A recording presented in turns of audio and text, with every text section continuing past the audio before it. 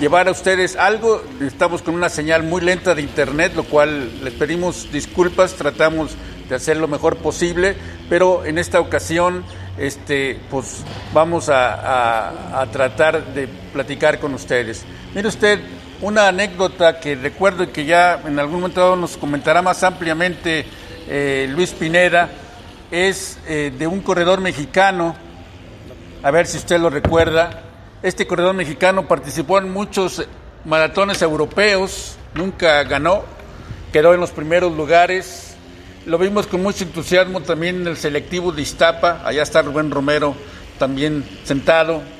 Este, y solo ganó un maratón en toda su vida este corredor mexicano. Evidentemente me refiero a Isidro Rico, Isidro Rico el queretano, que ganó la edición 90, de 1999, del 27 de junio de 1999 con un registro de 2.1757. Tuvo una historia extraordinaria por muchos eventos a lo largo y ancho del país y también del extranjero, pero el único maratón, hasta donde yo recuerdo, alguien me puede corregir si me equivoco, que ganó Isidro Rico fue este maratón, el maratón Tangamanga. Eh, vamos a hacer, este, tenemos un problema aquí, de, este, al parecer no tenemos video, este, vamos a hacer una pequeña pausa y regresamos con ustedes, no se vayan.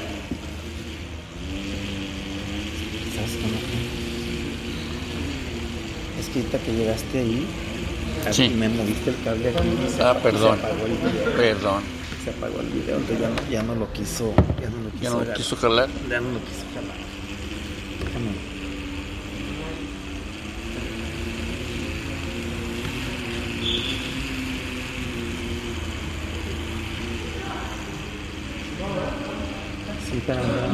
¿Ya te conectaste, Sofi? ¿Te conectaste? ¿Qué está diciendo la gente? No, pero no se ve nada, sí. Pues sí. Sí, está muy lenta. Pues sí, es que sí, la conexión está de la patada. Bueno, vamos a parar esto, vamos a parar esto. Este. Lo podemos hacer nada más de audio. No, esto sí, ya, ya, ya va a jalar, ¿Ya? ya va okay. a jalar, ya va a jalar. No, más este... ¿Eh? Ok, ahora sí, vamos a empezar nuevamente. Este. Ahorita primeramente. Sí, es que, ¿sabes que Le movimos al cable. Este, este no, no me lo muevas de aquí. Perdón. Este. Y eso fue lo que hizo que se fuera la. Sí. Espérame, espérame. Último intento, si no lo hacemos con el teléfono. Está muy pobre la señal. Está muy pobre la señal. Aquí una mega. con Luis de los 6, 7 barrios que recorre el trayecto. Siete. Que se me hace que es un tema interesante. Siete. Siete.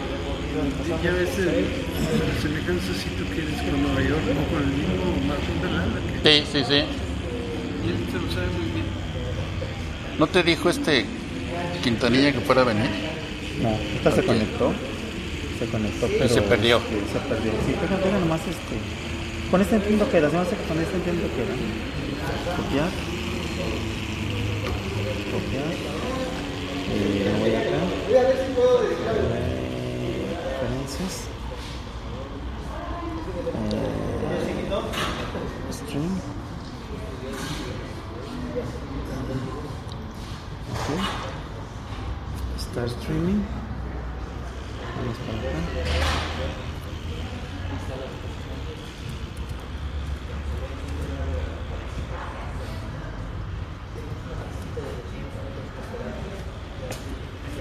Le puedes poner también si quieres que se, en el Spreaker está el audio exclusivamente. No, ya, ya, ya, ya quedó. Ya quedó. Digo, para que estén las dos cosas. Ah, Va, va público ya. Dale. Dale bienvenida.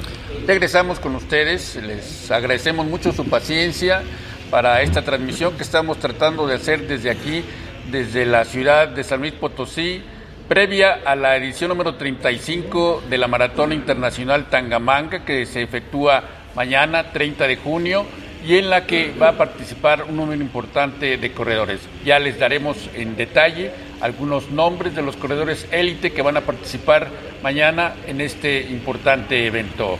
Juan José. Ok, muy buenas tardes. Soy Juan José Martínez, dándole la bienvenida a toda la gente a este programa previo al Maratón BMW Tangamanga 2019. Me acompaña el, el doctor Marco Sánchez Rentería a mi izquierda. A mi derecha tenemos aquí Luis Gámez, un también este, aficionado al atletismo y sobre todo gente que comparte lo que es la pasión por atletismo aquí en la ciudad de San Luis Potosí y que nos va a dar algunos detalles con respecto al recorrido que este año al parecer sube unas pequeñas modificaciones, Marco, con Así respecto es. al anterior.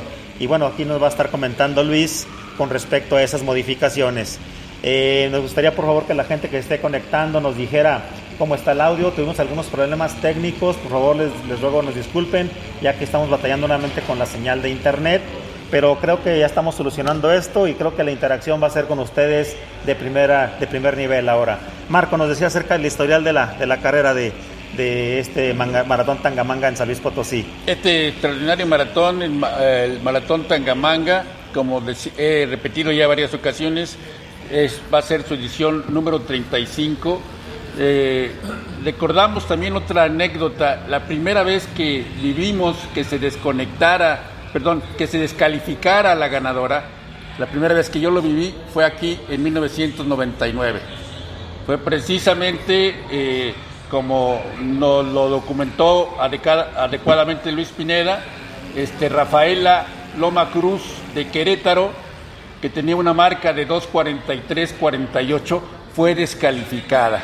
Ok. Si mal no me acuerdo, yo ahí eh, fue descalificada porque su entrenador se acreditó como de prensa Sí. iba en una moto y le iba dando indicaciones a esta corredora queretana. Afortunadamente, Luis Pineda tomó un video que fue parte de lo que se tomó, ya nos explicará él, y se le eh, dio el triunfo entonces a Emma Cabrera.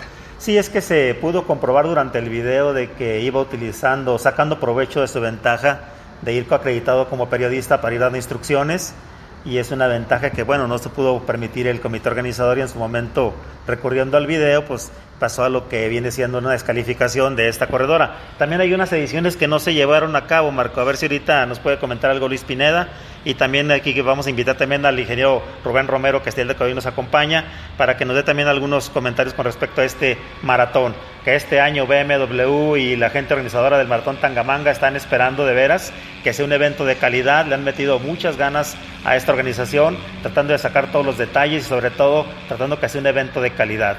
Entonces, este, ahorita también estamos recibiendo la última lista, o sea, la lista actualizada de los corredores que vienen a, competir a esta edición 2019.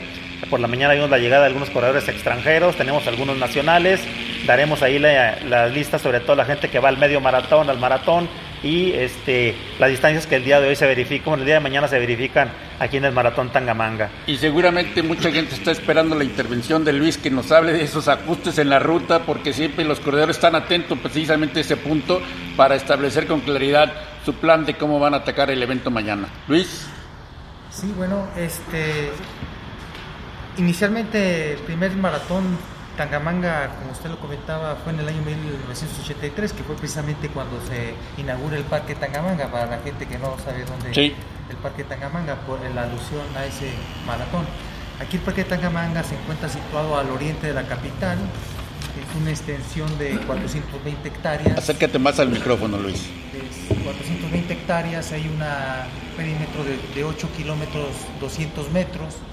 Este, fue inaugurado por el gobernador Carlos Confitud Barrios, aunque anteriormente fueron unos terrenos donde había una antigua hacienda de tenerías en, que databa de 1900, 1609. Eran unos terrenos este, donde cerraban dos lagunas que actualmente se encuentran el gobierno del estado se los expropió en, el- los años de 1980 y durante dos años estuvo reforestando este, lo que fue el parque. Posiblemente de ahí venía la inauguración del, del maratón Tangamanga, aunque se trae una confusión del término Tangamanga, que dónde viene esa palabra. Se creía que ese nombre venía por la fundación del estado de San Luis Potosí, decían que fue el estado del Valle de San Luis Potosí y no. Algunos historiadores han dicho que ese nombre proviene de un origen tarasco que significaba este, algunas estacas, en alusión a algunas estacas que ponían linderos para delimitar a las zonas mineras ya que los primeros asentamientos que hubo aquí en la capital potosina fueron precisamente en unas zonas mineras, era una zona minera, que es Cerro de San Pedro y aquí la Plaza de Fundadores. Entonces de ahí nace el Parque Tangamanga, se inaugura y inicialmente los primeros años, si usted recuerda, el recorrido se iniciaba aquí en el Parque Tangamanga Sí, y se concluye aquí.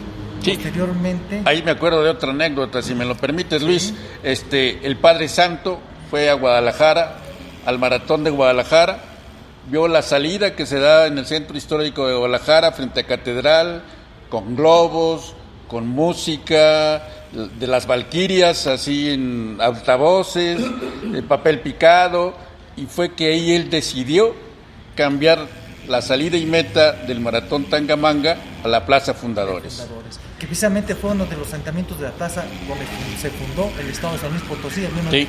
yacimientos de donde se hicieron unos asentamientos aquí en San Luis Potosí. Ya la edición pasada, el ingeniero este, Jaime Morales vuelve a traer el parque, este, el recorrido al parque Tangamanga, y más que nada por el número de corredores, porque estamos Sí.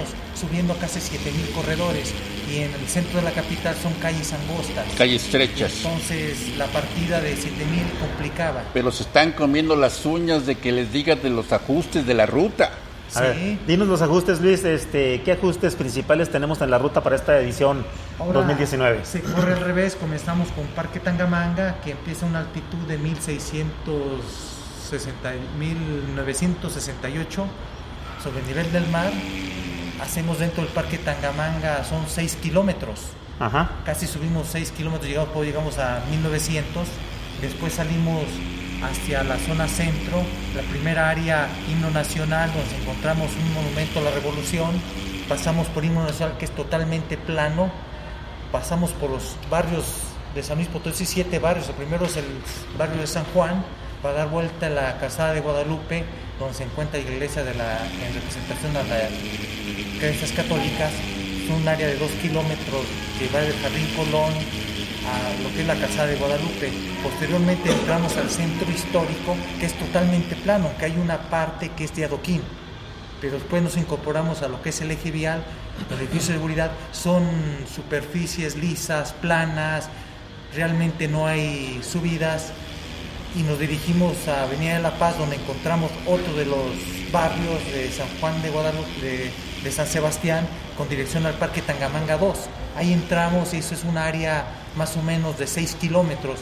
Para salir ahí, toda la ruta es plana hasta que llegamos otra vez hasta el Jardín de Tequis, a Carranza, que es ida y regreso, pero es una 4 kilómetros de subida, pero relativamente de inicio a final no es tan prolongada y a las pasadas se, se hace al revés, decía el ingeniero, para obtener mejores este, tiempos y los que van a correr sus datos personales. Por ahí la gente en redes sociales está comentando que si va a haber prueba antidoping. Ya el ingeniero Luis Pineda comentó, ya está comentando ahí en redes de que no habrá prueba antidoping en esta ocasión. Ya tendremos aquí la participación de, de Luis Pineda, también así como el ingeniero Rubén Romero. Eh, otra cosa, nos están preguntando, nos está, nos está dando una precisión este Erasmo Chávez, diciendo que en esa ocasión de la, de la descalificación, que hubo una protesta eh, formal por parte del entrenador de Emma Cabrera, el director técnico del maratón Eduardo Castro, coordinador de jueces Juan Armando Quintanillas, hicieron su reporte y se aplicó el reglamento. Por eso, es, por eso es. fue la descalificación de esta, de esta corredora. Eh, por favor, os estamos todavía haciendo ajustes, este, es válido. Si ustedes ven ahí gente que está conectada, les agradecemos de ver a su preferencia. Nos comente si alguno de los audios de los tres micrófonos está bajo, que nos diga por favor para hacer los ajustes correspondientes, ya que todavía nos alcanzó el tiempo aquí haciendo los ajustes técnicos. Eh, esperamos su comprensión, pero seguimos mejorando aquí. Eh, vamos a pedir este que entre ahorita este Luis Pineda, si nos puedes acompañar rápidamente. Eh, rápidamente, este, ahorita no te vayas, Luis Gámez, ahorita porque te vamos a, te vamos ahorita a pedir este, no te retires aquí del espacio para que nos acompañes. Este, adelante Luis, adelante. Eh, Marco, antes de que se acomode ahorita este, Luis Pineda, eh, comentarte Marco. Sí. Este, la altitud sobre el nivel medio del mar, a la cual este, se corre el maratón Tangamanga, algunos consideran que es un maratón que se corre en altitud. Este, hay gente que dice que a partir de los 1500 metros en el nivel medio del mar se puede considerar un maratón de altitud. Ahorita Luis nos va a hablar sobre, sobre los tiempos históricamente registrados aquí en el maratón Tangamanga y sobre todo también este, comentar a qué se debe esos, esos registros. En ocasiones se debe la altitud sobre el nivel medio del mar, pero también en otras, en otras ediciones